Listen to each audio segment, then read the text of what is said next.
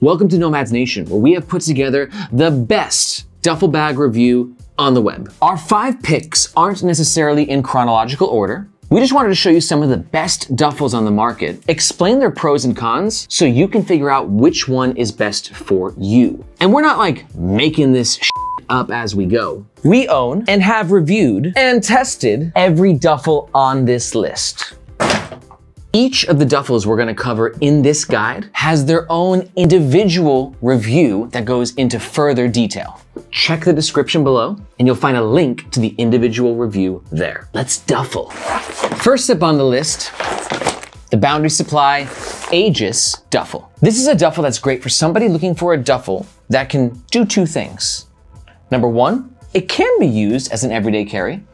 And number two, it can also be used as a travel companion. So for the everyday carry, it could be used for gym, it could be used for photography, but also given the large capacity, you can totally travel the world on this bad boy for weeks at a time. Boundary Supply is renowned for having a modular ecosystem. So if you own other Boundary Supply products, you can seamlessly move some of the features back and forth between the products. For instance, Boundary Supply's magnetic keyring solution. This works on all of their products. So you just pop it out of here, pop it in a different one. And also Boundary Supply's modular photography gear, like the MK1, seamlessly snaps right into here, as well as their other backpacks. Boundary Supply uses premium materials and has a very sort of adventure-esque sort of aesthetic. And coolest of all, this duffel actually can be used and doubled as a backpack. Simply pop these straps out here, connect them here, and once you connect the straps, you can,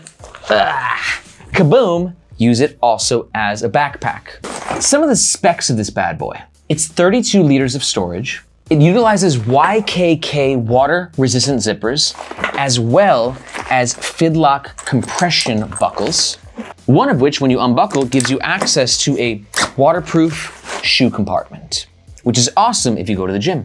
And there are two options available. You have the regular, which comes in at around 170 US dollars. And then you have the X-Pac, that's this bad boy right here, which uses the same exterior materials of sailcloth. And this runs about 210 US dollars. Some quick pros and cons with this guy. Pro number one is gonna be the amazing materials. It's durable, it's rugged, it's going to last a long time. Pro number two is the versatility. Not only can it be carried in multiple ways, but it's also large enough to be a long-term travel pack. And because of this compression element, it can be compressed small enough to be an everyday carry. And pro number three is gonna be simplicity.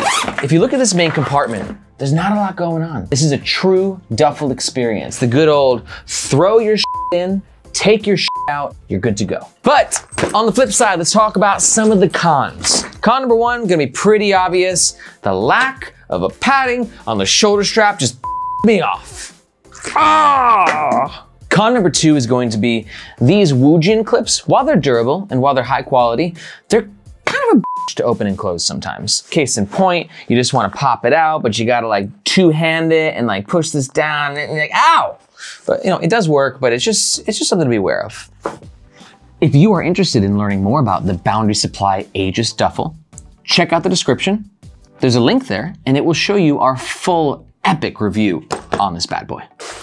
Next, number two on this list is the Aer Capsule Pack. Now you might be thinking to yourself, Aaron, this looks like a backpack. That's because it technically is, but it is a backpack that can also transform into a duffel. Case in point, you pop the straps off, slide them in this little compartment here, attach the duffel strap, and et voila, you have a seamless duffel experience. You have the duffel handle here, duffel shoulder strap here, and if you wanna go into backpack mode, that is also an option. This product is made by Aer, and if you watched my videos before, you know that I kind of have a crush on Aer products. This is for two reasons. One, they're sleek and sexy looking, but two, they're highly functional and also extremely comfortable. This is not an everyday carry. This is definitely designed for short to longer term travel. But what's really interesting about this carrying experience is as the name infers, it's kind of like a capsule. And if you look right here, you've got this circular opening system, which give you access to the main compartment. This large crater is not quite a duffel, but it's duffel-esque in the sense that it's just a big old area, throw all your stuff, fly to a new country, you're good to go. All right, some specs about this bad boy. Most Aer products use ballistic nylon, which is this rugged looking yet smooth to the touch exterior material. There are two size options, a 35 liter and a 40 liter. This is the 35. And I love that the entire exterior of the backpack utilizes YKK waterproof zippers. And all these things combined come in at a price tag of around 230 USD.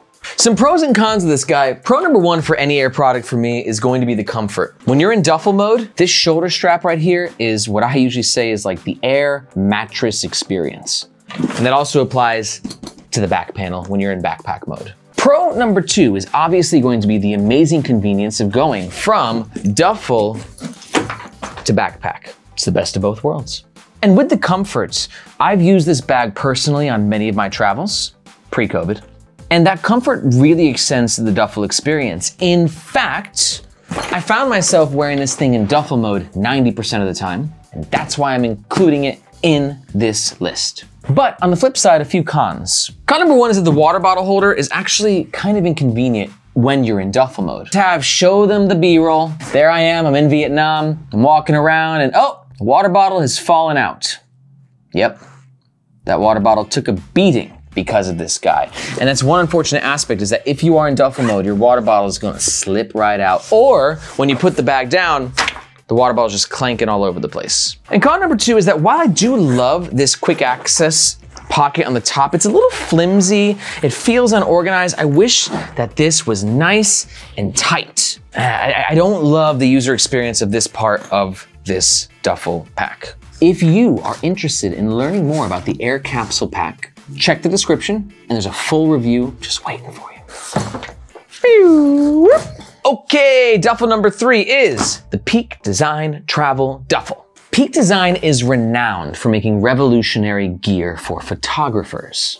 But truth be told, their products can be used and enjoyed by anybody. Like me, I'm not a photographer. I love Peak Design's gear. Similar to the Boundary Supply Aegis duffel, this is a duffel that I think is quite okay to use as an everyday carry. It's a bit big. If you only have a few things in your pockets that you're trying to relieve, then this is not gonna be your guy. But if you have a bunch of stuff that you carry on a day-to-day basis, this guy can handle it. Peak Design's aesthetic is very sleek, very techy, very like, wow. Is that a word? Like, wow. You get what I'm saying, right? And I actually use this as an everyday carry for a few weeks. And because of the way it sort of like compresses into itself, it means that it's smaller when you don't have too much gear and it expands when you have a lot more gear. Some specs about this duffel. Peak Design uses amazing materials. Whether it's the in-house designed zippers, yeah, they make their own zippers, or the premium feeling aluminum hardware. It's also important to note this, that Peak Design advertises this, that it can go into backpack mode, and theoretically, it can.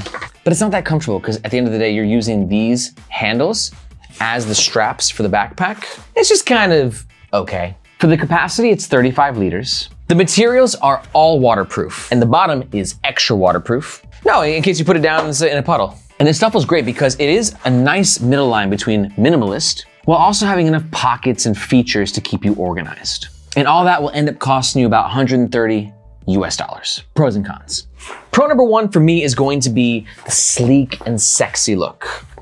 This is achieved by Peak Design's overall aesthetic, but also just the use of these waterproof materials. They got a nice little shine to them, but also being a little bit matte. It just looks, looks really nice. Pro number two is going to be the comfort. Now, I do not think that these hand handles are comfortable. We'll talk about that in the cons. But this shoulder strap is really comfortable. You got a nice little padding here. This padding is just the right amount of cushion, while also being dense and durable. It's a really comfortable wear. And pro number three is gonna be the two quick access pockets in the front. You got this guy right here, and this guy right here. These pockets are great for their functionality because they give you somewhere to store all of your stuff in a way that's very easily accessed. But I got some cons. You're gonna hear them. Are you ready? We're going. Con number one is that while I am ecstatic about the comfort of the shoulder strap, the comfort of these handles isn't too great. Here's why. Look at this. Like, is that a magnet? Is that a magnet pulling these two handles? Yes, it is. The magnet is quite nice because it does keep the handles nice and tidy, keeps them together, but unfortunately, magnets are hard and hard does not equal comfortable. So when you're holding it like this, I find it really uncomfortable.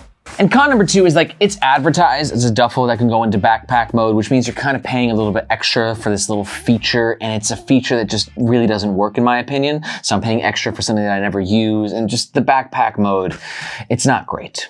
If you're interested in learning more about the Peak Design Travel Duffel, check the description, full review down there. You'll love it. Tab catch.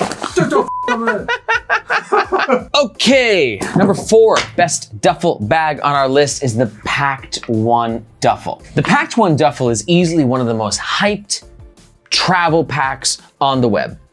It's marketed as the ultimate travel companion because ultimately, it's a duffel that functions and packs like a suitcase. Case in point, we're in duffel mode, and then you open it up and you're like, whoa, that's a suitcase. This is easily one of the most fascinating products I've ever reviewed. It's too big for an everyday carry, but if you're looking for a duffel that can handle all of your travel gear, this could be as good as it gets. PAKT's design is quite interesting. It's got a classy sort of a feel to it. Now I got the blue, which is complemented with brass colored hardware. So it's got like sort of like a 60s vibe to it, a little retro, but like kind of designery almost. It looks quality. But really it's the comfort of this thing and the engineering that take it to the next level for me. The comfort being these hand handles. They got this really cushiony, jelly sort of uh, material in there, and it's just a really nice experience to hold. And the shoulder strap, similar. Just got a nice cushioniness to it. And it feels great on your shoulder. But for me, the most important characteristic of this duffel is the fact that it has a dedicated laptop compartment. Go ahead and put your laptop right in there, zip it up, and we have a duffel that has your laptop protected. And if you have clothes on either side, because this is a longer term sort of travel duffel, it's just gonna be really safe. Some of the specs of the PAKT One duffel. It's 35 liters. You have three different color options, and what's quite interesting is each color has a different sort of material. So for instance, the blue has a different exterior material and a different interior material than the gray or the black does.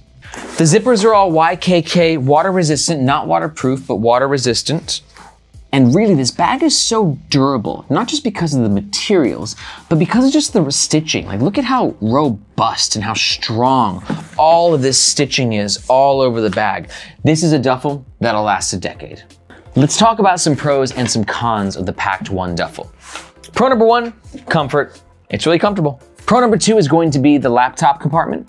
And pro number three is gonna be all of the different features and organization. You got pockets here, you got pockets here, so there's external pockets. You got some pockets on this side, you got some mesh compartments here, so there's lots of organization offered in this duffel, which is quite unusual for duffels. But a few cons.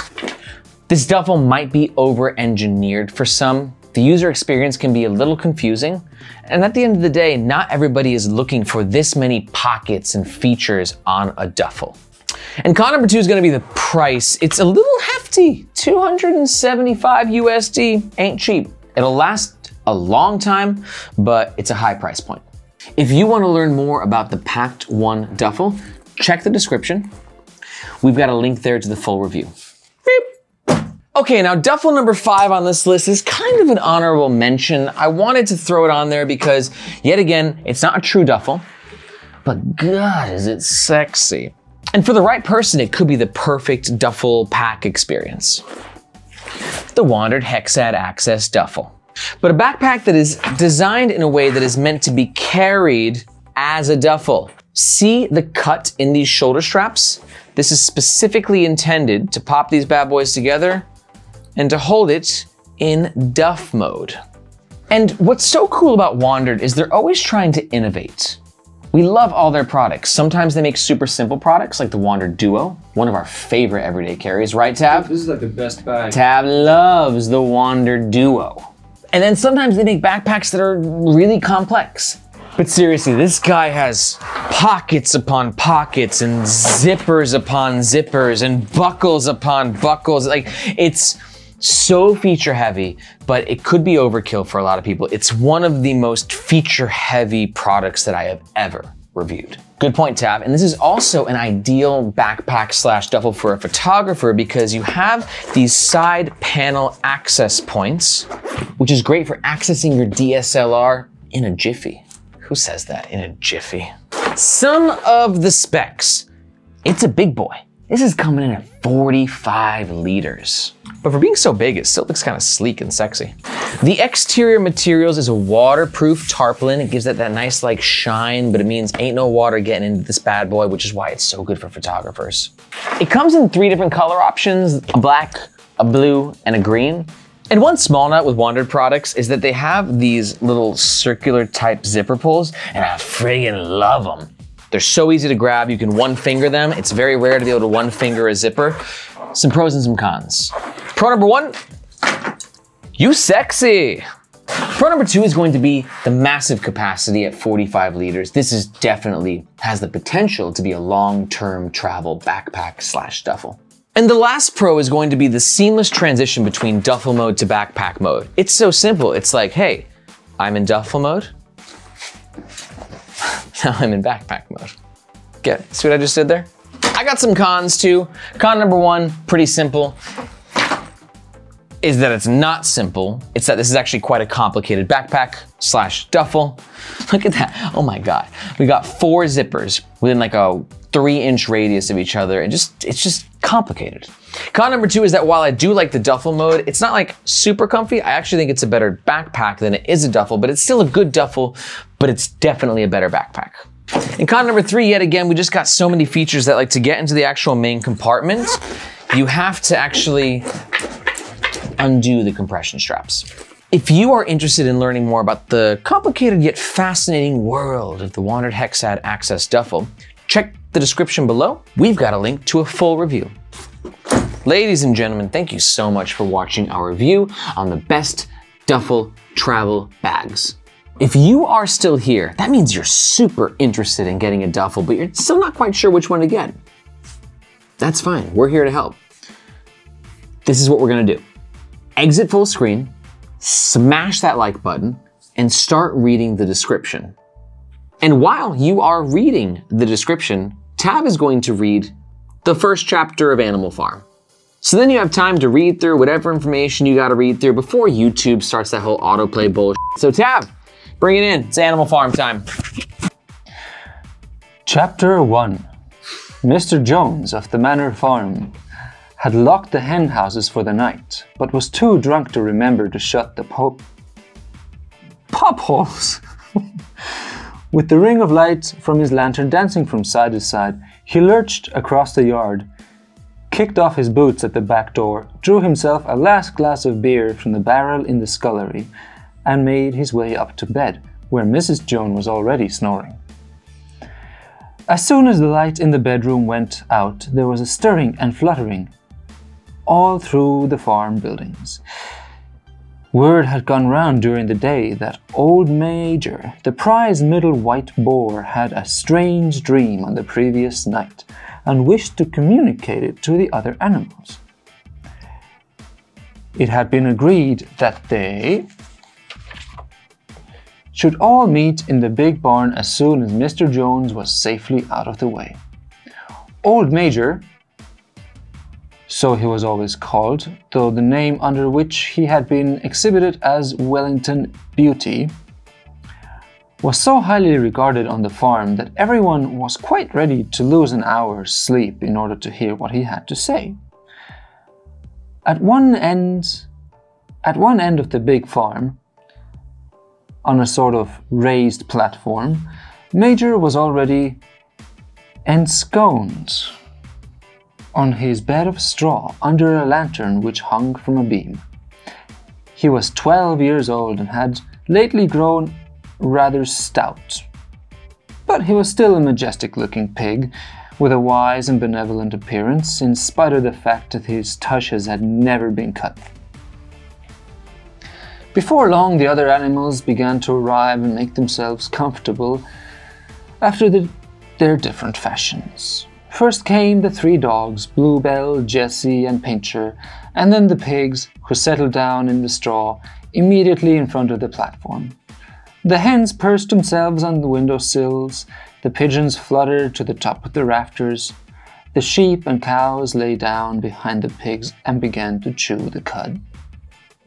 The two cart horses, Boxer and Clover, came in together, walking very slowly and setting down their vast hairy hoofs with great care, lest there should be some small animal concealed in the straw. Clover was a stout, motherly mare approaching middle life, who had never quite gotten her figure back after her fourth foal. Boxer was an enormous beast, nearly 18 hands high, as strong as two ordinary horses put together. As a white stripe, a white stripe down his nose gave him a somewhat stupid appearance, and in fact, wasn't he was not the first-rate intelligence but he was universally respected for his steadiness of character and tremendous powers of work. After the horses came Muriel, the white goat, and Benjamin the donkey. Benjamin was the oldest animal on the farm and the worst tempered. He seldom talked, and when he did, it was usually to make some cynical remark. For instance, he would say that God had given him a tail to keep the flies off but that he would sooner have had no tail and no flies. Mm. Along more, what? Alone among the animals on the farm, he never laughed. If asked why, he would say he saw nothing to laugh at. Nevertheless, without openly admitting it, he was a devoted to boxer.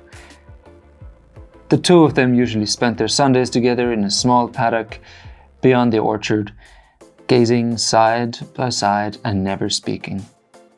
The two horses had just lain down when a brood of ducklings, which had lost their mother, filed into the barn, cheeping feebly and wandering from side to side to find some place where they would not be trodden on. Clover made a sort of a wall around them with her great foreleg, and the ducklings nestled down inside it and promptly fell asleep. At the moment, at the last moment, Molly, the foolish, pretty white mare who also drew Mrs. Mr. Jones's trap, producing. He does not give milk, he does not lay eggs, he's too weak to pull the plow, he, cannot run fast and cannot catch rabbits. Yet he's lord of the, all the animals. He sets them to work, he gives back to them the bare minimum that will prevent them from starving, and the rest he keeps for himself. Our labor tills the soil, our dung fertilizes it, and yet there is not one of us that owns more than his bare skin. You cows, that I see before me. How many hours, how many thousands of gallons of milk have you given during this year? And what has happened to that milk, which should have been which should have been breeding up sturdy calves? Each drop of it has gone down the throats of our enemies. And you hens, how many eggs have you laid in the past year? And how many of those eggs ever hatched into chickens? The rest have all gone to market to bring in money for Jones and his men. And you, Clover, where are those four foals you bore? Should have been able to support and pleasure you into your old age. Oh, wait a minute, that did not sound right. anyway, I think that's enough time for you guys. Um, if you haven't hit the like button yet, uh, please do. This is a pretty long book. I'm gonna be here for a while. Um, seriously, if you're still here, if you're still here, I don't know why he's still. He went out to take a leak like ten minutes I ago. Did, now I'm back, and I can't believe this is still happening. So if you're still here, uh, let us know why. why are you still here? Click on some video down there. Like, come on, okay. All right, I'm gonna switch these off. Bye.